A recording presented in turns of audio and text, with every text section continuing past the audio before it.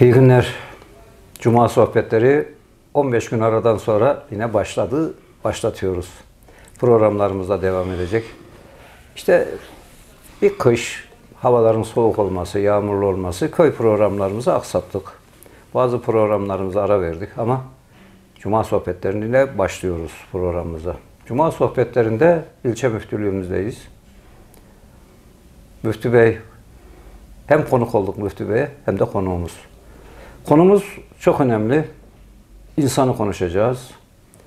İnsan olarak yaratılanın insanlık yolunda yürüyüşünü, bugüne kadar gelişini, nasıl geldi onları konuşacağız. Peygamber Efendimizin hadislerine gireceğiz.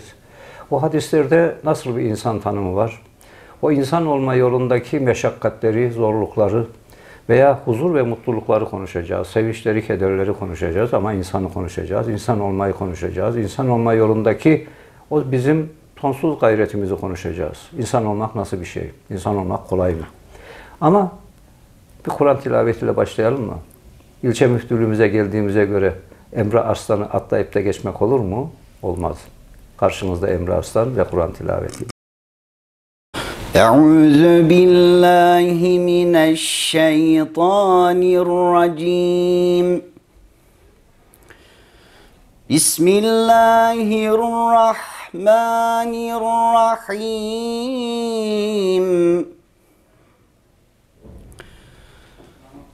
وما تشاءون إلا أن يشاء الله إن الله كان عليما حكيما. يدخل من يشاء في رحمته والظالمين أعدت لهم عذابا أليما. بسم الله الرحمن الرحيم والتين والزيتون وطور سينين وهذا البلد الأمين لقد خلقنا الإنسان في أحسن تقويم. ثم رددناه أسفل سافلين.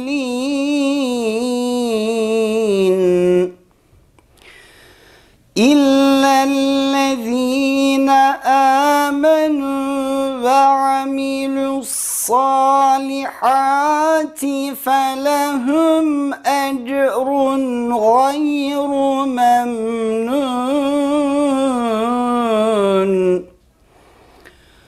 فما يكذبك بعد بالدين أليس الله بأحكم الحاكمين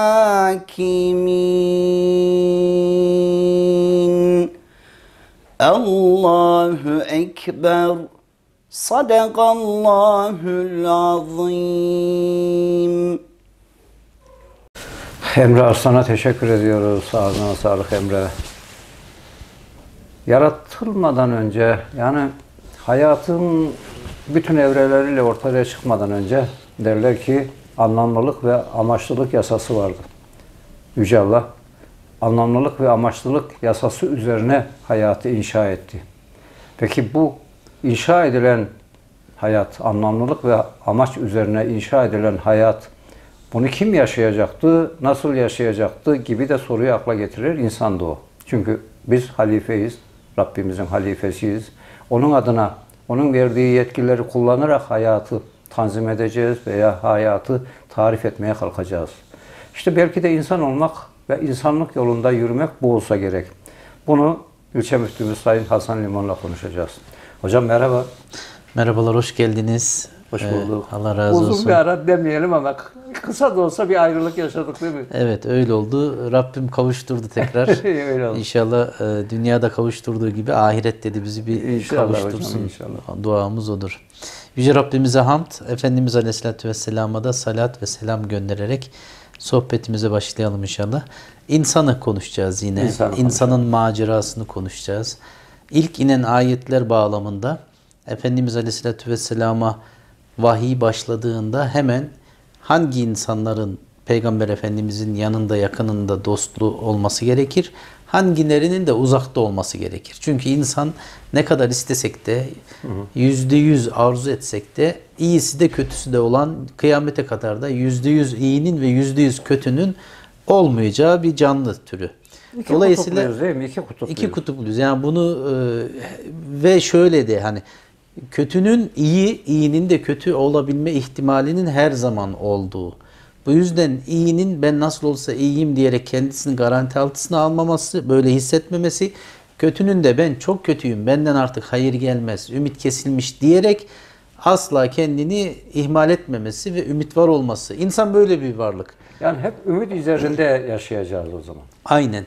Kalp ümit dediğimiz de, mesela. Ümit ve güven Beynel havfi ve raca. belki de tam iki unsur herhalde. Aynen. Bunu böyle diyoruz. Beynel havfi ve raca. Korku ile ümit arasında.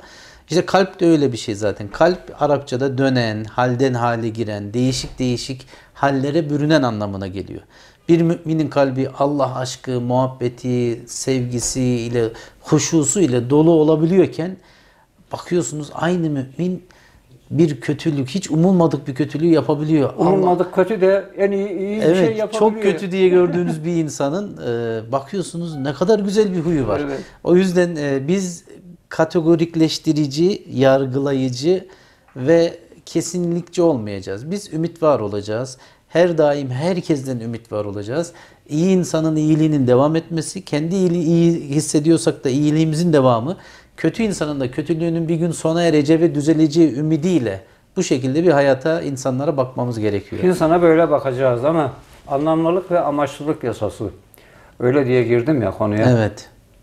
Eğer bu yasayı Allahu Teala kendi hayat anlayışı veya bize hayat tanzim edecek hayatın tam özüne koymasaydı biz o anlamlılığı veya amacı arayamazdık herhalde.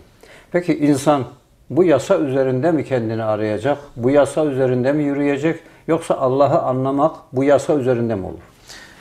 İnsan dünyaya şöyle bakacak. Aslında biz e, bu son dönemlerde bu 21. yüzyılda teknolojinin, bilimin gelişmesi, insanların e, doğaya hakim olması, istediğini doğaya yapabilmesi, yani denizi doldurup denizin içerisinden köprüler, yollar yapabilmesi, dağları eşip, delip, yok edip onları çakıl olarak yollara sermesi insanın biraz tekebbürüne sebep olabilir. Kendini büyük görmesi, yüce görmesi, Rabbi karşısındaki acziyetini Anlamını Gölgül- kaybetmek, amacını an- yitirmek gibi mi olur? onun gibi biraz. Evet. Dolayısıyla biz batı yani bilimin, fennin, teknolojinin gelişmesiyle insanın gücünün yapabileceklerinin artmasıyla birlikte insanoğlu biraz anlamını yitirmeye başlayabilir. Bu, tehlikesi vardır. Bunun tam zıttı da vardır. Yani biz olaya nasıl bakacağız? Olaya biz dünyadaki her şey gibi bizde bir amacımız var, vazifemiz var, rolümüz var. Yani bir taş da olabilirdik. Taş da benim yerimde olabilirdi. Dolayısıyla ben ona taşa taş diye bakıp hor görmeyeceğim. Onun kendisine göre bir vazifesi var, anlamı var, yeri var. Nice faydaları var. Yani e, dolayısıyla insan olarak da ben insanım. Yani ben taş da olabilirdim. Toprak da olabilirdim. Yani başka bir ağaç da olabilirdim. Basit gördüğümüz bir ot da olabilirdim. Ama Allah beni insan yapmış. Onu ot yapan beni insan yapmış.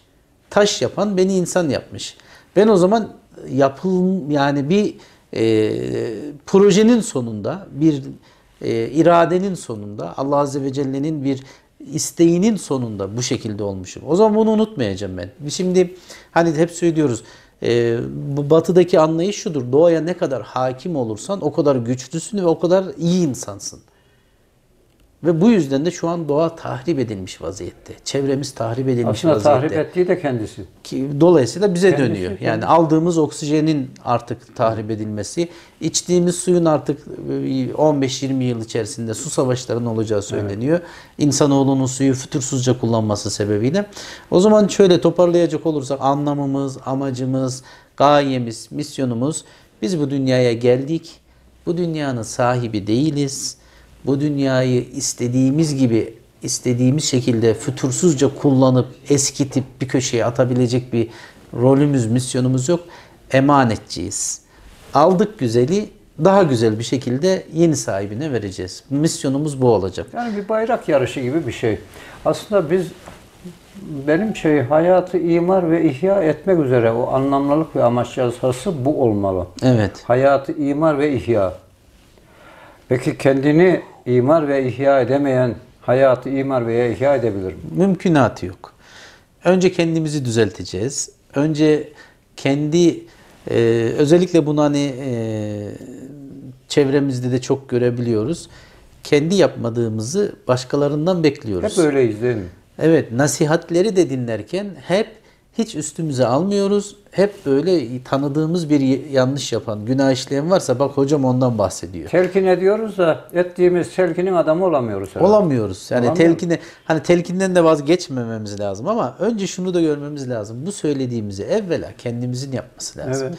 Eğer bu söylediğimiz doğruysa, güzelse e biz de bunu söyleyen kişi de demek ki doğrunun güzelin peşinde Söylemeye olan gerek yok. Davranış haline getirmişsin zaten. Zaten Sen konuşuyorsun. En etkili tebliğ metodu yani İslam'ı insanlara anlatma metodu en etkilisi yaşayarak anlatmaktır. Efendimiz Aleyhisselatü Vesselam'ın bakıldığı zaman mesela Peygamber Efendimiz az konuşurdu. Çok konuşmazdı. Ama yapardı. O yaptığını anlatırdı. Şöyle yaptım, şöyle Yani yapılır derdi. davranışıyla konuşur.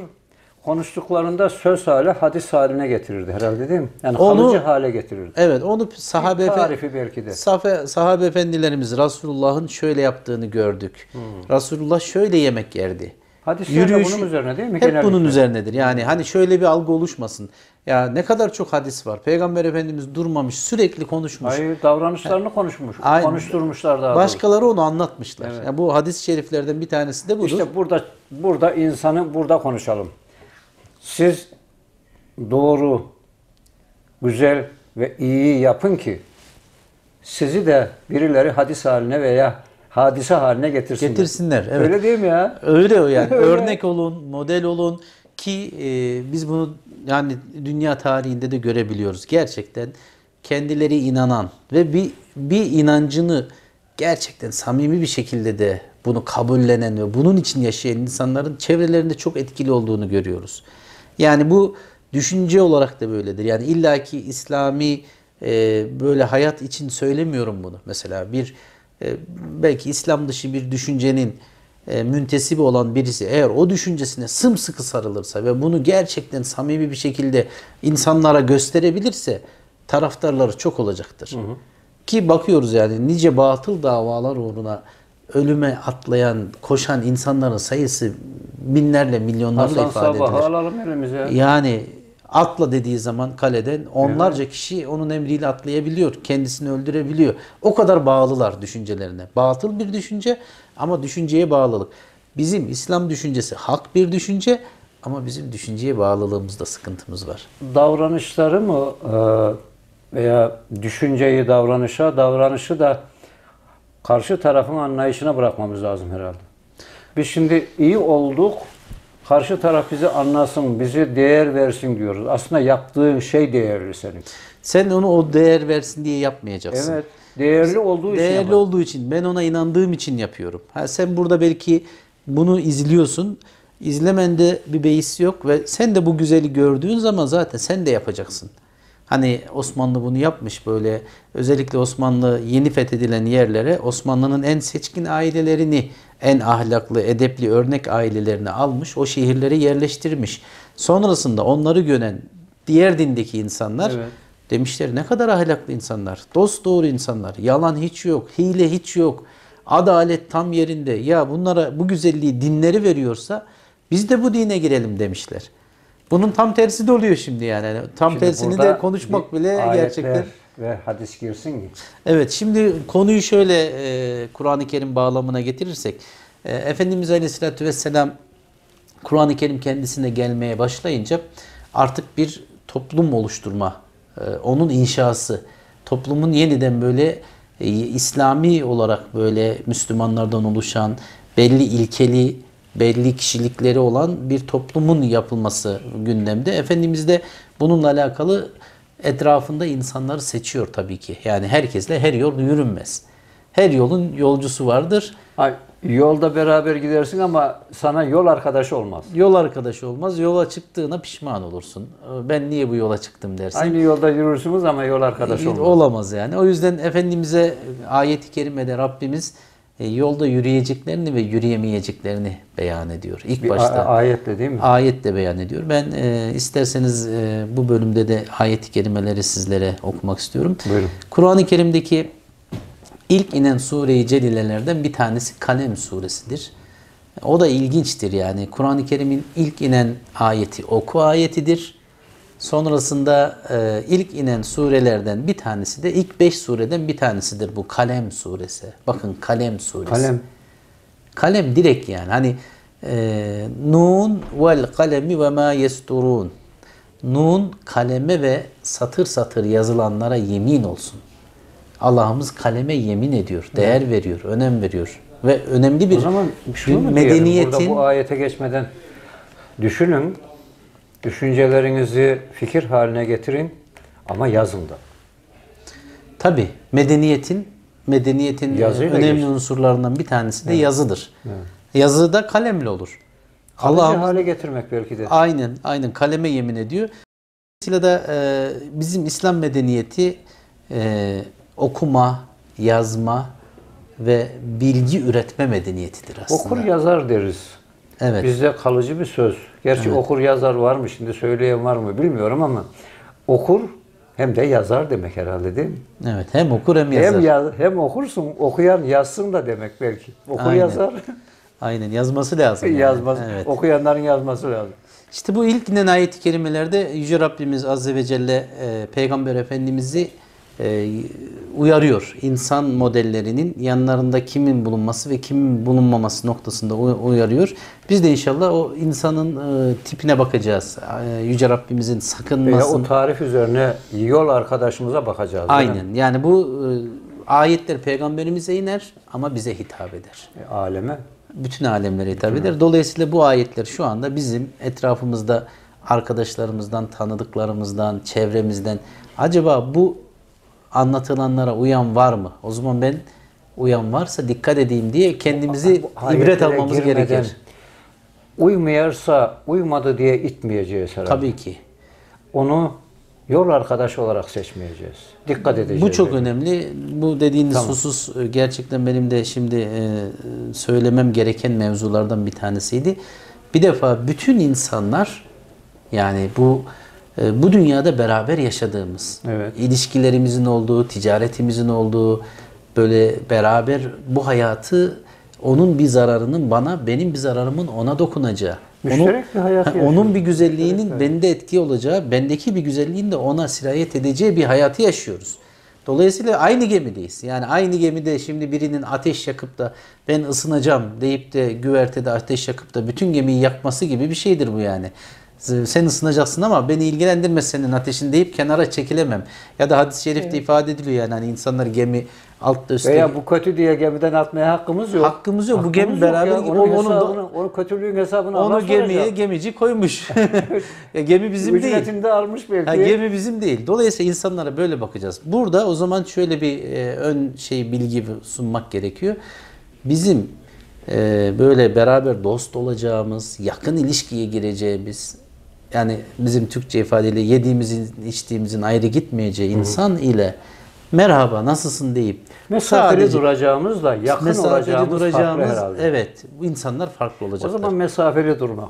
Ben bir şiir gibi bir şey yazmıştım da o aklıma geldi siz konuşurken. Bana eziyet et, bana işkence et ama beni itme, itekleme demiştim. Evet. İteklemeyeceğiz değil mi? Aynen. Ya sen bana işkence de etsen, sen bana eziyet de etsen ama şunu yapma ya. İtme beni, itekleme beni. Evet. Aslında onuruma dokunma. Aynen.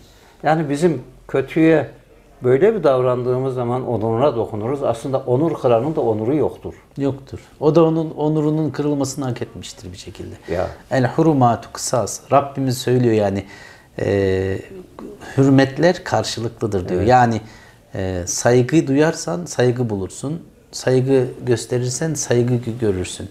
Seversen sevilirsin. Seversen sevilirsin. Bu böyledir yani. İnsan aslında neyse karşılığında da onu görür. Bazı insanlar böyle çok eleştirir her şeyi, çok olumsuz görür.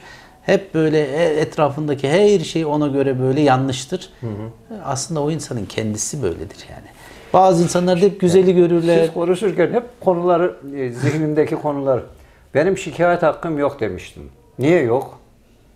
Bu hayatı kuran, beni yaratan, bu hayatın içine koyan Allah'sa, eğer hayattan şikayet hakkım olursa Allah'tan şikayet etmiş olurum. Tabii. Ayetlere geçelim. Geçelim. geçelim.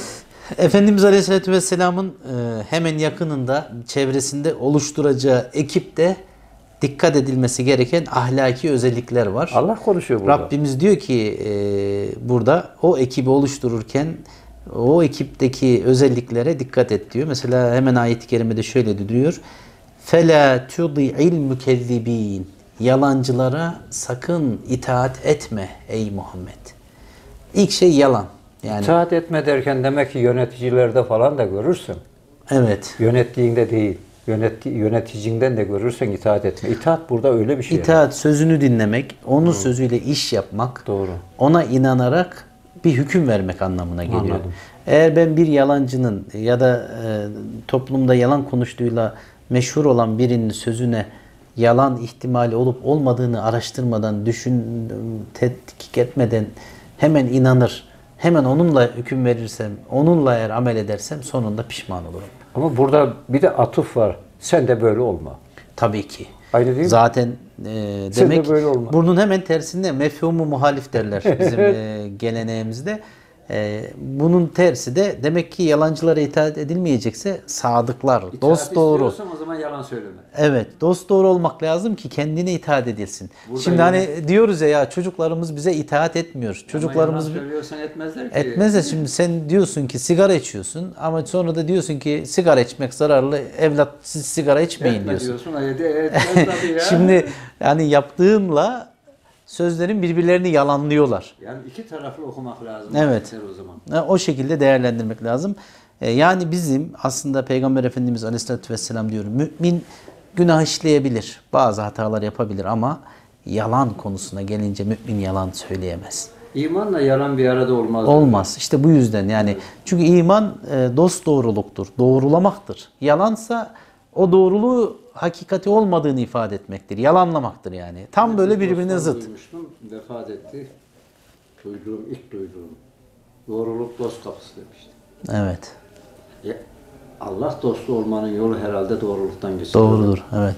Doğrularla beraber olun diye Rabbimizin emri var yani. Doğrularla beraber olun. Doğruluk dost kapısıysa Allah'ı dost edinmek istiyorsanız doğru olun yani. Aynen, Öyle aynen. değil. Evet. Sonra devam ediyor. Ee, peki bu yalancılar, hani böyle her zaman yalan konuşanlar, dini yalanlayanlar, hayatı yalanlayanlar, önemli şeyleri yalanlayanlar ne yaparlar?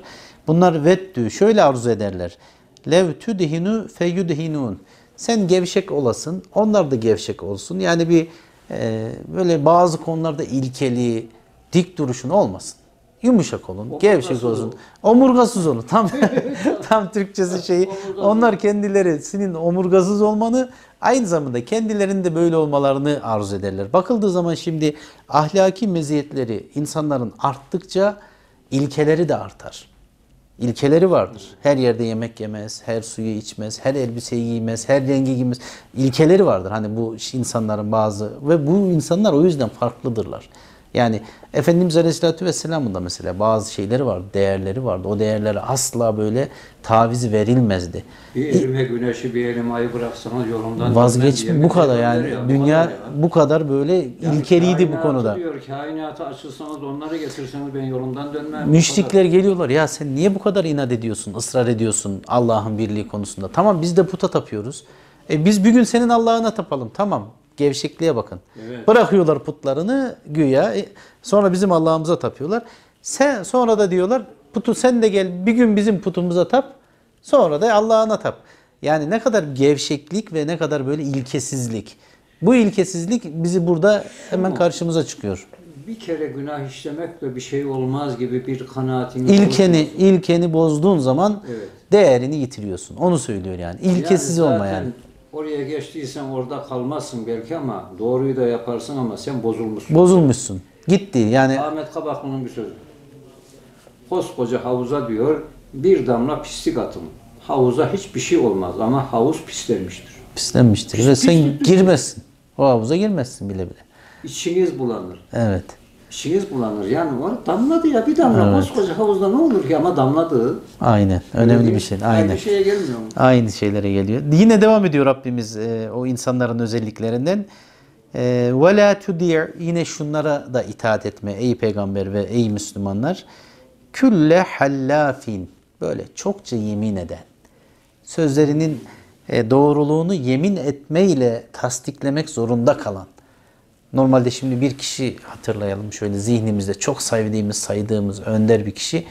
Biz onun bir söz söylediği zaman yüzde yüz onun doğru olduğuna inanırız ve hemen o sözle amel ederiz. Ama diyelim ki bir iki yalan konuştuğunu, bazı hatalar, eksikleri olan kişinin bir söz söylediğimiz zaman da acaba doğru mu söylüyor deriz. Yemin et deriz bazen de. Ha, yemini payanda gibi kullananlar. Demek yani ki- şuraya payanda yapıyor yemin. Aynen. Yani her Allah'ı şeyde. Her şeyde yemin ediyorsa bir insan zaten o demek ki kendisinin de güvensiz, güven oluşturmayan bir insan olduğunu ikrar ediyordur yani. Durduk yere niye yemin etsin? Diyor ki ya bana güvenmeyeceksiniz biliyorum ben. Ben normalde doğru da konuşmam yalan zaten. konuşuyorum. Yalan Yeminle konuş. Şimdi bir, bir yemin daha edeyim de sen yemine güveniyorsun. Allah'ına güveniyorsun ya sen. O Allah'a güvendiğin için benim bu sözümdeki Allah adı olunca belki bana inanırsın. Niyeti bu yani. Allah'a haşa tövbe alet ve alet olarak kendi yalanına destek ve Destek. payanda yapıyor. Evet o yüzden yemini çok etmemek lazım. Yemin yeri geldiği zaman lazımdır. Zaten doğruyu konuşanın yemin etmeye gereği yok. ki. Gereği yoktur. Gereği yok ki. Ee, bazı yerlerde mesela mahkemede hakim der ki burada doğruyu konuşacağına yemin eder misin der. Ederim derim. Ben de yemin ederim derim ve Ama etmezsin ederim dersin. heh, orada da yemin de ederim gerekirse yani. Ederim O doğru çünkü orada bir insan hakkında lehinde ya da aleyhinde bir hüküm verilecektir. Önemlidir ama normal e, basit mevzularda da çokça yemin etmek demek ki bir insanın gevşekliğinin ve ilkesizliğinin bir göstergesi. O zaman çok yemin etmekten uzak duracağız. Peygamber Efendimiz'e de diyor etrafındakiler çok yemin edenlerse dikkat et. Çünkü o yalanı da vardır onun diye. Bize de uyarır. Siz de Bize de, etmeyin. evet. Doğruyu konuşuyorsanız etmenize gerek yok diyor herhalde. Sonrasında devam ediyor. Ee, mehin yani böyle e, aşağı işlerle, basit işlerle, değersiz işlerle uğraşan. Yani böyle e, çok önemli işler varken bakıyorsunuz böyle dünyası, konuşmaları, hal ve hareketleri böyle hiç beş paralık bir değeri olmayan dünyanın insanı. Dolayısıyla bu adamın ilkesi, düşüncesi, dünyasının zenginleşmesi lazım. Bu adamın yola gelmesi, yola girmesi lazım. Benim ondan değil, onun benden bir şeyler alması lazım. Uygun Ona dünyasını da mı ifade ediyor bu? Tabii her şey hem duygu hem davranış hem hayata bakış her şeyde böyle basit, aşağı, adi işlerle uğraşan insanlardan olmamalar lazım. Yani şimdi bakıyorsunuz insanların bazılarının dünyaları sadece bunlardan oluşuyorsa dünyalarımız ayrı, farklı dünyalar. Biz değerli, kıymetli, ilkeli şeylerden bahsediyoruz. Bunların peşindeyiz. Biz dünyanın ve ahiretin güzelliklerini arıyoruz. Bizim iş- işimiz iyilik, güzellik, hak, hakkaniyet. Dolayısıyla böyle şeylerde bizim işimiz olmaz diye. Said Nursi'nin bir sözünü okumuştum. Yolda bir madde buldunuz, bir parça buldunuz, bir metal buldunuz. Kuyumcuya gösterin, almazsa hurdacıya satın diyordu. Hurdacıya verin. Evet. Ya demek ki ne yaptığına, eline olan neyse onun değerini bilene bir göster. Veya kendin bilemiyorsan göster. Veya kendi değerini kendin biliyorsan bunu ucuzlatma. Evet. Biraz ucuzlattık mı? Öyle oluyor. Yani dolayısıyla da etmemiz lazım. Bu ayet-i kerimeleri niye okuyoruz? Ee, özellikle Efendimizin o İslam toplumunu kurarken ki ilk temellerini atarken ki oluşturduğu insan kimlikleri, kişiliklerinin üzerine bunları işlediğimiz için okuyoruz. Ama bunları işte bizim halkımız veya bizi izleyenler, bizi dinleyenler, daha doğrusu size buraya gelenler şu ilkeleri bugüne kadar sordular mı size? Soran oldu mu? Yani Olmadı diyemezsiniz ama çok azdır herhalde. evet e, derdimiz, önceliğimiz artık başka şeyler olunca sorular da başka şeylerden geliyor. Ama en önemli değerler bunlar Aynen, değil mi? aynen. Olmanın- Ahlak temel ilkeleri oluşturuyor bunlar. İnsan olmanın temel ilkeleri bunlar. Aynen. Devam ediyor ayet-i kerimede. Yüce Rabbimiz bakalım. Hemmazin. Bakın bu da çok önemli. Çok basit gibi görünüyor ama kaşıyla, gözüyle, el ayağıyla insanlarla alay edip onları küçük gören. Oo. Yani şimdi bazı insanlar kendilerini büyük görürler. Böyle e, sanki böyle insanların üstündeymiş gibi bir algı oluştururlar ve diğer insanlara alaycı böyle iğneleyici bir tavırla bakarlar. Bunu Rabbimiz istemiyor. Allah bizi yarattıysa bize değer vermiş. En güzel Yüzüne şekilde göre, yaratmış. Yüzüne karşı yapamadığını o arkasını dönünce işaretlerle yapmak gibi herhalde. Hem o yani böyle el kol işareti, yüz göz işareti böyle her türlü vücuttan karşı takini küçük gösterecek. Onu aşağılayacak. Kendini de büyük Gıybetin gösterecek. Harekete dönmesi gibi bir şey. Hareket, beden diline dönmesi. Beden Peki, dilinin e, gıybetin o arkasını döndüğü zaman bir hareketle yapılması gibi bir şey değil. Aynen. Yani aslında buradaki temel mesele e, bu kişilik. İnsanları küçük gören, insanlarla alay eden, insanlarla dalga eden, dalga geçen kişiliğin burada eleştirisi. Bizim Allah yarattıysa herkesi güzel yaratmıştır. Herkesi değişik imtihan eder. Kimisi çok kuvvet- güçlü, kuvvetlidir, yakışıklıdır, bedeni güzeldir. Kimi zengindir, ak- akrabaları çoktur, sülalesi meşhurdur. Kimi de yoktur bunlar. Yani şimdi öteki diğerine kendisini övecek ve onunla alay edecek mi? Bu hakkı nereden elde ediyor? Allah onu orada yapabilirdi, onu da orada yapabilirdi, yaratabilirdi. Bu tamamen Allah'ın tercihidir. Allah'ın yarattığı bir varlığı aşağılamak gibi bir şey. Tabi. Ben Hazreti Şems'i okumuştum da Müftü Bey, e, yine devam edin siz de. Azarlıyor da kimseyi aşağılamıyor. Yakaladığım şey bu. Evet. Azarlıyor, aşağılamıyor.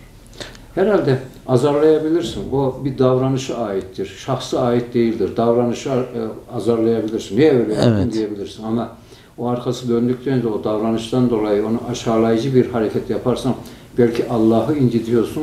Bir sözle insanın davranışlarına karşı gelin. Yaratılışına dokunmayın. Kişiliğine, incitmeyin. Orada evet. Allah incinir. Tabi. Yaratılışa dokun. Önemli bir şey. İnsanın yaptığına, davranışına. Davranışlarına değil. Yoksa insan olarak o eşrefi mahlukattır. Allah'ın eli emeği var. Evet, ve öyle bir potansiyeli vardır ki o hor gördüğümüz insan yarın bizden kat kat yüce olabilir. Ya. Onu bilemeyiz. Bilemeyiz ki. Nice değerler vardır. Şu an hani e, bir buğday tanesine bakarız. Buğdayı, bir buğdayı görürüz ama onu toprağa attığımızda bir yıl sonra 700 buğdaydır o aslında. Biz onu bir buğday sanarız. Hamam böceği aklıma geldi. Hep misal verirler ya. Ya Rabbi bunu her şeyi yarattın, bunu niye yarattın diyen insanın yarasına merhem olan, hastalığına şifa olan hamam böceği. Yani işte demin dediğimiz gibi bir hal ve hareket, belki o hal ve hareket Allah'ı incitir ve döner seni incitecek de birisi çıkar. Çıkar. Yapma. Yani insan Yapma. kınadığının, eleştirdiğinin Evet. eee, şeyini yaşamadıkça ölmez derler yani böyle birini haksız yere kınayan. O zaman devam edelim. Demek ki e, Yüce Rabbimiz bizim etrafımızdaki insanlardaki seçmemiz gereken ahlaki meziyetlerin ne olması, nelerinden de sakınmamız gerektiğine devam ediyor. Mesela e, yüz göz, el kol hareketleriyle insanları iğneleyen, aşağılayan, küçük gören meşşain binemim yine böyle e, laf alıp laf götüren. Şimdi bunlar çok basit şeyler gibi alıyor. Dedikodu Dedikodu, gibi bir tam şey, dedikodu. dedikodu. Toplumu aslında bunlar dinamitleyen, toplumdaki güveni sarsan, insanların birbirinin sevgisini, saygısını bitiren şeyler. Yani ben şahsen hani bu nefsimiz var hepimizde. Birinin benimle dalga geçtiğini düşünürsem o kişiye karşı içimde bir kin oluşur. Atamam onu. Gayri ihtiyar olur. Gayri ihtiyar ne kadar istesem de ne kadar uğraşsam da onu artık atamam ben yani. Bu ben de bir insanım neticede. Bunun yani böyle yüce insan çok büyük böyle ahlaki meziyetlere sahip olabilecek ki görmezden gelebilecek. Hepimizde de bir vasat insanın üstün olması için uğraşıyoruz biz. Dolayısıyla yani bunlar böyle basit görünen ama insanda etkisi, yarası, izi derin olan şeyler. O zaman laf alıp laf götüren kişiye de fazla itaat etmemek lazım. Şunu mu yapalım? Birisi senin hakkında şunu söyledi dediği zaman bir Evet. başkasına işte mesela Mazhar bana şunu söylemiş birisi getiriyor. Aslında söyleyenden ziyade getiren mi tehlikeli? Evet. Çünkü Söyleyenden- ona bizden de ona götürecek. Bilmiyoruz ki onu söyleyip söylemediğini bilmiyoruz. Evet ve bu bizden de belki başka başka şeyleri başka yerlere götürecek. Efendimiz Aleyhisselatü Vesselam biliyorsunuz sahabeleri de insanlardı. Beraber e, yaşıyorlardı. Peygamber Efendimiz'i bir gün namazdan sonra sahabe, sahabe efendilerimiz diğer sahabelerden bazıları orada olmayanlar hakkında bir iki laf söylemeye başlıyorlar. Peygamberimiz durun diyor. Ben sizin hakkınızda, hepinizin hakkında çok güzel düşüncelere sahibim. Siz şimdi olumsuz bir şey, var olan bir şey bu yani hani özellik.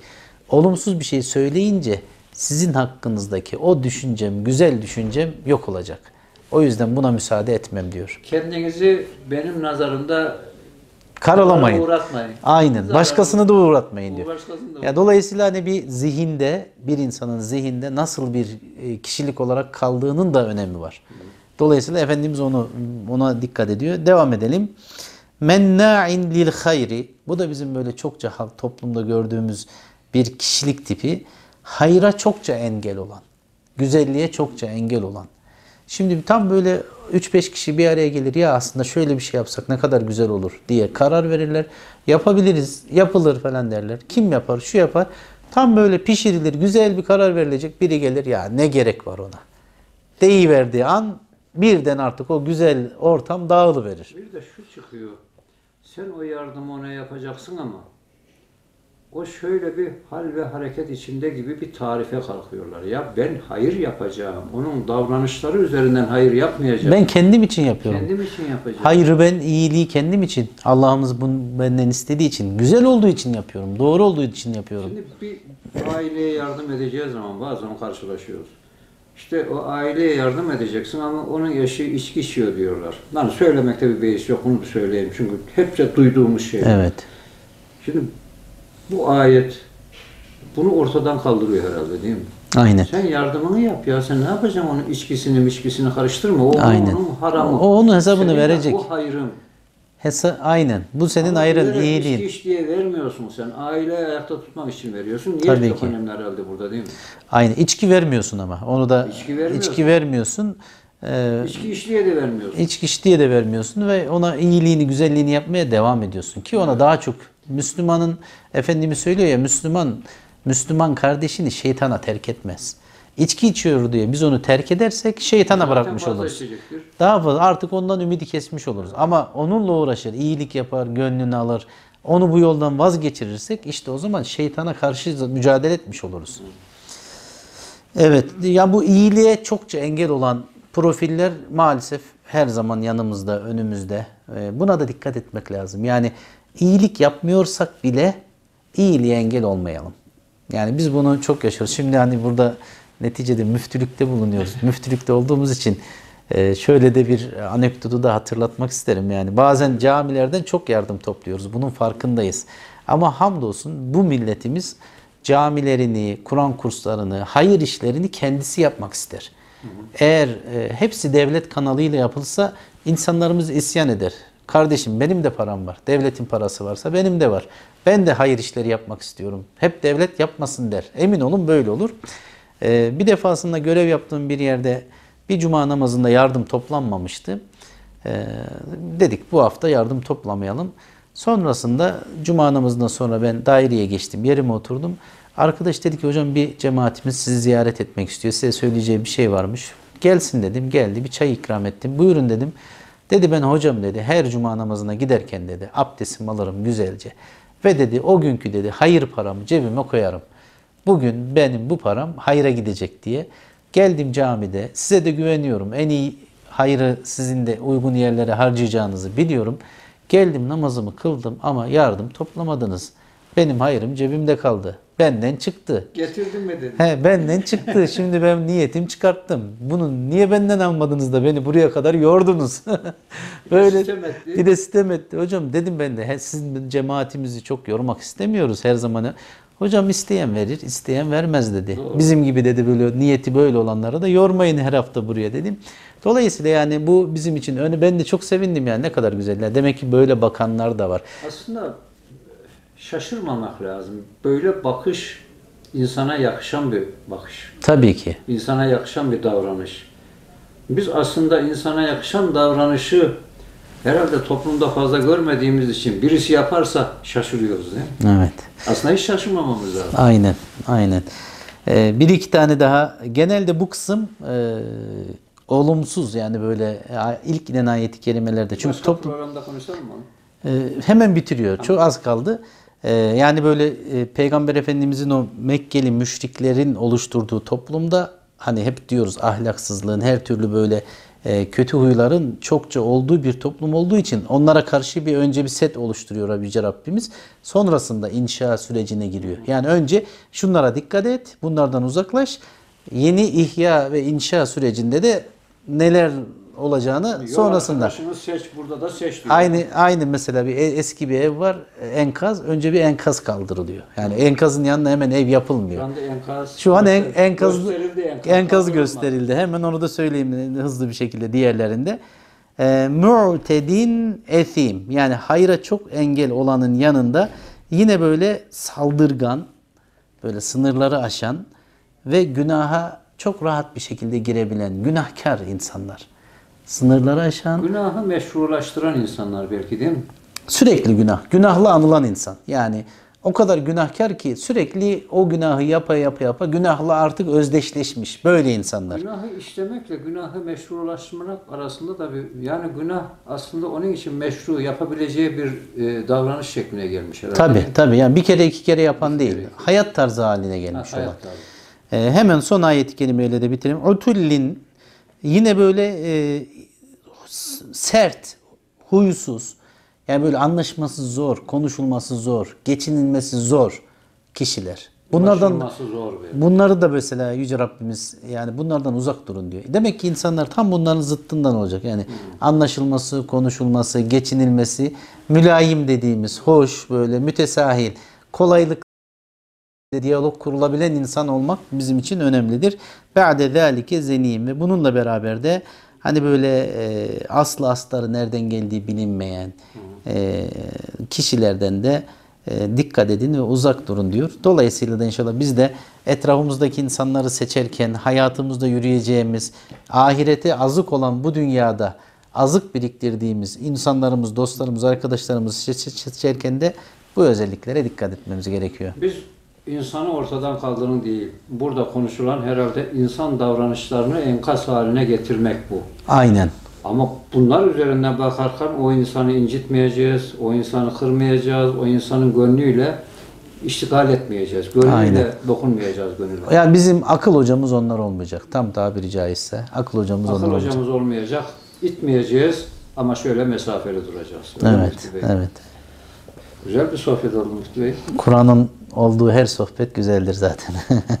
Bir de müftüyle sohbet etmek. Hele Teşekkür ederiz.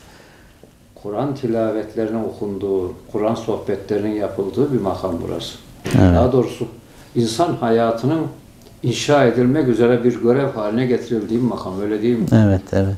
İşiniz zor. Allah razı olsun. Dua edin inşallah. Dualarımızdasınız. evet. Dua edebilmek için önce dualaşın diye bir yazı okumuştum. Önce dualaşalım. Bunları yapmazsak dualaşıyoruz belki de. Evet. Anlam ve amacımızı kazanıyoruz. Anlam ve amacını kazanan insanın zaten o kazandığı şey bir dua haline geliyor. Hele bunu bir niyet ve bunu bir iyi niyet, daha doğrusu Allah'a bir sunum olarak getirdiğin zaman zaten bunun bir dilek, bir temenni olarak veya verir misin, yapar mısın diye Allah'a ım, sunduğumuz zaman da tanıyorum çok güzel oluyor değil mi? İnşallah. Aslında yüreğimizi sunuyoruz. Dua Aynen. insanın yüreğini sunmakmış. İnşallah dualarımızla yüreğimizi sunarız Allah'a. Yüreğimizde tertemiz olur. Bir hayat inşası içinde olur. Anlamlılık ve amaçlılık yasamızı bilerek yaşamaya başlarız ki ki bu makamlarda ona hizmet eden makamlar. Çok çok teşekkür ederim. Ben teşekkür ederim geldiğiniz, bu fırsatı verdiğiniz. Ama ben ilk defa bu kadar sohbet ettim ama keyif aldığım, sonsuz bir huzur içinde duydum sohbetlerden bir tanesi. Evet.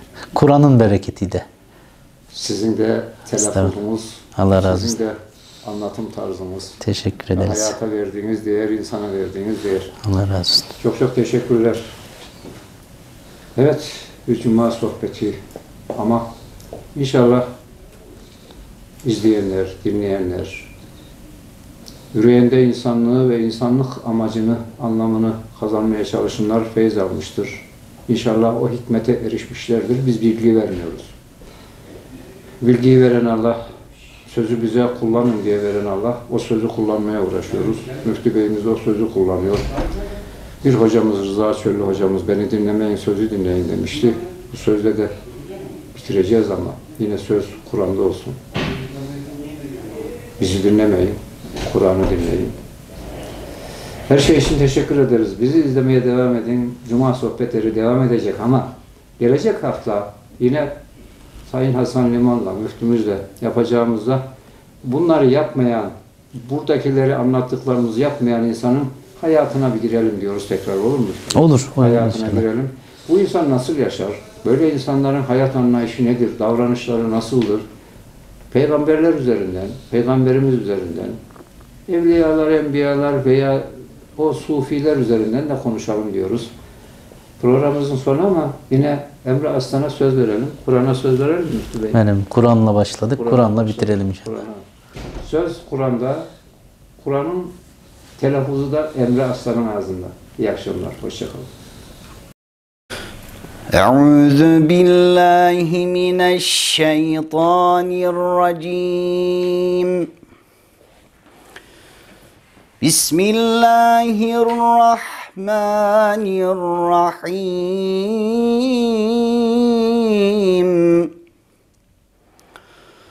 والعصر إن الإنسان لفي خسر إلا الذين آمنوا وعملوا الصالحات وتواصوا بالحق إلا الذين آمنوا وعملوا الصالحات وتواصوا بالحق